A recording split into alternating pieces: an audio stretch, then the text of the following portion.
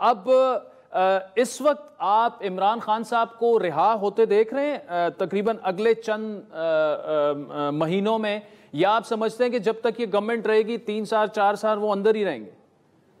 तीन चार महीने की बात करते हैं। मुझे तो एक महीने के अंदर इमरान खान बाहर न, होता हुआ नज़र आ रहा है। देखें अक्टूबर में तो हर कीमत अक्टूबर से पहले अच्छा। इमरान खान बाहर आएगा। अब आप देखें कि जरा हवाएँ देखें दुनिया किस तरफ़ जा रही है। मोदी जो टू थर्ड कहता था, मुझे मुझे किस तरह मार पड़ी है जब जो है ह्यूमन राइट्स की वायलेशन जो उसने की है, अवाम के अंदर जो गम गुस्सा है। फिर आप देखें, अमेरिका में क्या हो रहा है?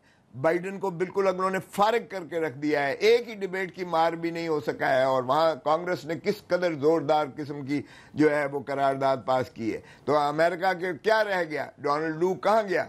और कहाँ गई उनकी जो है पॉलिसी पाकिस्तान के बारे में गुलाम बनाने की? कहाँ गया आईएमएफ का सारा?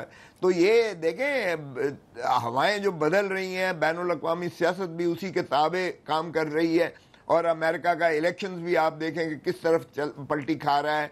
तो मुझे तो यकीनन लगता है कि ये यहाँ भी हवाएँ जो है बिल्कुल उसके असरात होंगे और पाकिस्तान में अनकरीब आप देखेंगे कि इमरान खान और बुशरा बीबी को बिल्कुल मुखलसी हो जाएगी और इमरान खान बाहर होंगे। और मैंने जो दरख्वास्त अदालत में परसों दी है, मैंने यही कहा है कि ये चूँकि एक कम्युनिकेशन गैप जो पाकिस्तान की सबसे बड़ी जमात के सरबराह का अपने अवाम के साथ कम्युनिकेशन गैप है विद द स्टेट उससे हमारी रियासत कमज़ोर हो रही है। तो खुदारा रियासत को कमज़ोर ना होने दे क्योंकि अगर किसी को पाकिस्तान आ, से प्यार है तो फिर पाकिस्तान में आइन की बालादस्ती को तस्लीम करके हक के हुक्मरानी अवाम को दिया जाए जो आइन में आर्टिकल सात और आर्टिकल पाँच की मनतहा है जो रूह है वो आवाम की इस कदर कसम पुरसी इस कदर बे बेहरमती न की जाए कि उन्नीस सौ इकहत्तर वाला फिर चले सरदार लतीफ़ खोजा साहब बहुत शुक्रिया नाजीन आपने गुफ्तु सुनी तरीके इंसाफ के सीनियर रहनुमा है।